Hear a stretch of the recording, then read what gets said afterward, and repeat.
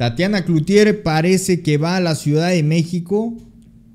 Todo indica que vamos a ver. Y es que se ha filtrado información en donde se señala que Tatiana Cloutier podría ser un relevo natural por parte de Movimiento Regeneración Nacional, viendo cómo están las cosas al interior de Morena. Se habla ya de este eh, mega escándalo en donde Tatiana Cloutier, la tía Tatis, podría, podría buscar la jefatura a la Ciudad de México. También vamos a ver más adelante su respuesta ante este planteamiento que se está suscitando en los medios de comunicación. Todo esto y más lo vamos a abordar a continuación. Espero que el video les esté gustando. Gracias por compartir, por darle manita arriba y si son nuevos los invito a que se suscriban para que llegue a más personas toda esta información. ¿Y qué es lo que está pasando? Bueno, Tatiana Cloutier buscaría a la Ciudad de México el registro para el proceso interno de Morena para elegir a su próximo candidato o candidata a la jefatura de gobierno de la Ciudad de México ya está en marcha y varias personas que levantan la mano ya se registraron, siendo los más llamativos Omar García Harfuch, Clara Brugada y Hugo López Gatel. En el marco del proceso interno, donde se elegirían dos hombres y dos mujeres, comenzó a circular el nombre de Tatiana Cloutier, exsecretaria de Economía de Gobierno en la Ciudad de México, para buscar la jefatura de gobierno de la Ciudad de México. Dicen que en Morena dos hombres y dos mujeres serán encuestados. Los hombres serían Harfuch y Hugo López Gatel. Y las mujeres Clara Brugada y, están buscando convencer a Tatiana Cloutier. Y ojo en esta parte, muchos dirán, Ay, pero también está Mario Delgado. Sí, pero en recientes noticias, Mario Delgado renuncia a la candidatura de Movimiento Regeneración Nacional. Le tenemos la información de primera mano. Resulta que Mario Delgado, a través de un comunicado vía redes sociales, señaló que no va a contender por la jefatura de gobierno. Recordemos que en días previos también el líder de Morena señalaba que le iba a solicitar su venia a Claudia Sheinbaum Pardo y todo indica pues que no hubo autorización, que se rajó de última hora y siendo honestos, Mario Delgado no traía cómo competir en la Ciudad de México, en donde se busca también Morena busca recuperar varias alcaldías perdidas después de que Monri, Super Monri, las entregara. Y en ese sentido, bueno, volvemos a la información porque resulta que este, están buscando a supuestamente a Tatiana Cloutier y esto lo dio a conocer María Elena Morera. Dice que para Morena en la Ciudad de México dos hombres y dos mujeres y están buscando convencer a Tatiana Cloutier. Sería sorprendente que Tatiana aceptara. Será tanta su soberbia y su cinismo después de que le mintió a las clases medias y altas sobre el verdadero proyecto de AMLO creer que nuevamente le van a creer. No inventes, respondió Tatiana Cloutier. Nadie busca convencerme, vivo en Nuevo León y todos lo saben. Vendrá un segundo momento para construir transformación y lograr continuidad del cambio requerido, señaló Tatiana Cloutier. Pues en este punto tampoco lo desmiente y tampoco este, lo afirma algo está muy sospechoso en este punto o es mi imaginación, el maestro Albino Córdoba para abordar este tema. Hola Iber, Alejandro, amigas, amigos. ¿Usted cree que Tatiana Gutiérrez va por la Ciudad de México? Yo le digo que no, no creo, ¿eh? No creo. Creo que ahí son otros perfiles los que están manejando. Y pues, si bien es cierto que García Harfuch no es eh, santo de la devoción para muchos, que es un policía secretario de seguridad, también es cierto que está Clara Brugada, también es cierto que ya se registró Hugo López Gatel y la tía Tatis, la tía Tatis creo que entrará, eh, va a entrar a la cuarta transformación en algún lugar específico, no, sabemos cuál. El encuentro cercano con Claudia Sheinbaum la ubica entre las personas que tendrán trabajo dentro de lo que es o lo que va a ser su campaña. No es el momento. Eh, se especula que Tatiana quiere eh, ser candidata, tampoco lo, lo, rechaza, pero si tiene su residencia en Nuevo León, pues lo más seguro es que eh, buscaría algún espacio en aquel, en aquel estado, en Nuevo León, y no en la Ciudad de México, que no sería una mala candidata. Dicen algunos que es una traidora, pues que yo sepa, no, no hay nada que, eh, reclamarle a Tatiana Cloutier. Si se refieren a lo que hizo en la Secretaría de Economía, pues salió por la puerta grande. Y si se refiere al trabajo que realizó Tatiana Cloutier cuando fue coordinadora de campaña, no, no hay que olvidar que fue la coordinadora de campaña del presidente Andrés Manuel López Obrador. Entonces, uno de esos perfiles no lo avientas así como que a un lado nada más porque sí, se atoraba con cada eh, facho en la campaña, en programas de los chayoteros. mire que los perfiles que se manejan eh, ubican a García Harfuch como el primero, pero son los medios, igual la, la contienda igual pinta para estar reñida, porque Clara Brugada también tiene buen respaldo en las bases.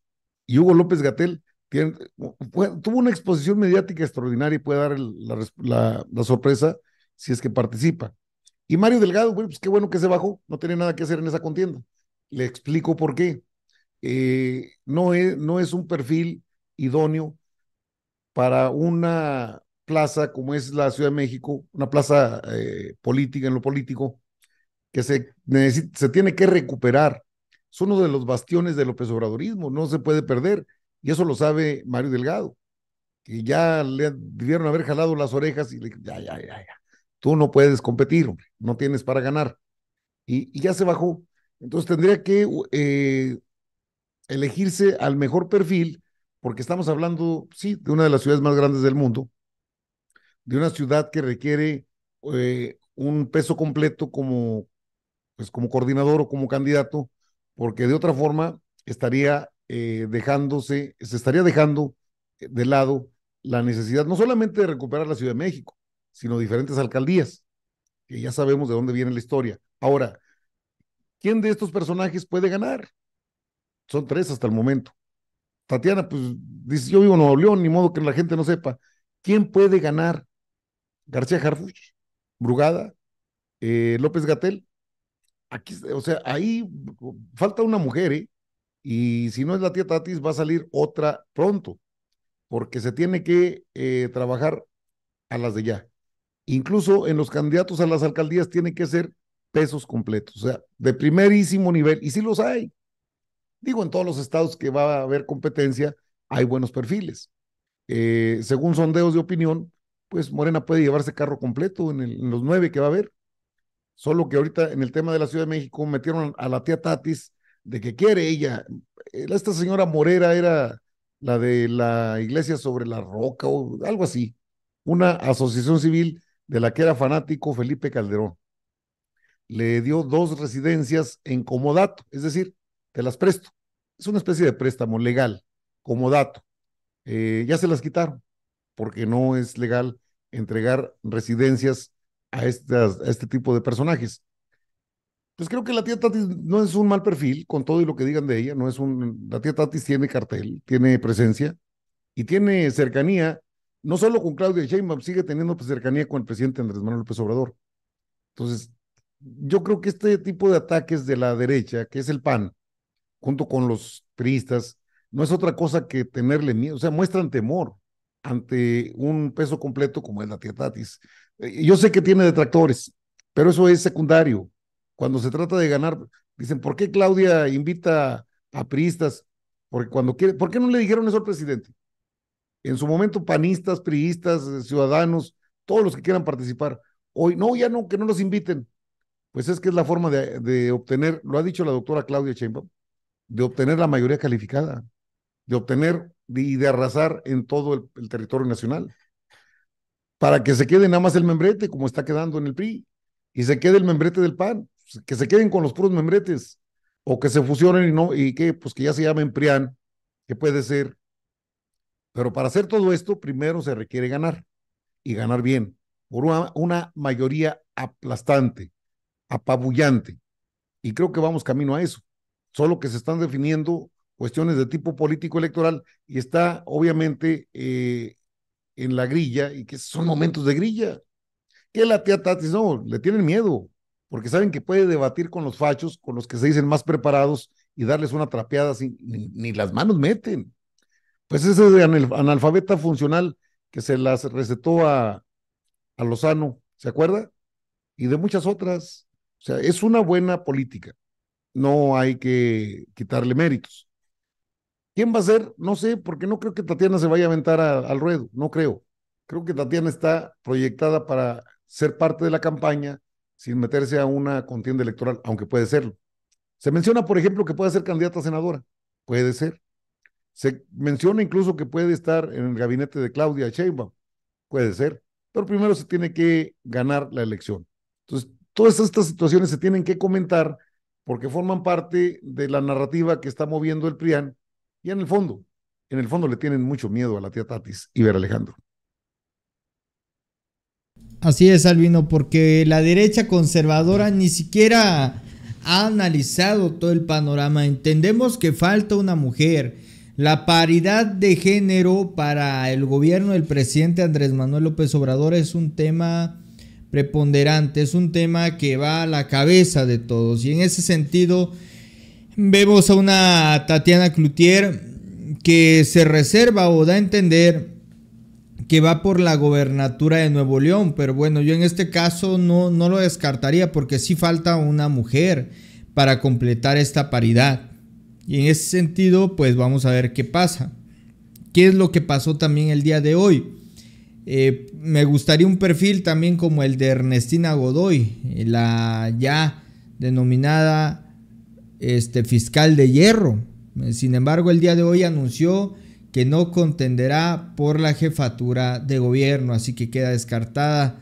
También estaba Rosa Isela, pero también quedó descartada. Entonces, ¿quién será el perfil que cumpla con esa situación? Pues eh, vamos a verlo también cómo se profundiza el tema electoral en la Ciudad de México. Por lo tanto, quien encabeza las encuestas chayoteras es precisamente Omar García Harfuch. Sin embargo, lideraba las encuestas Omar García Harfuch donde no estaba este famoso doctor Hugo López Gatel.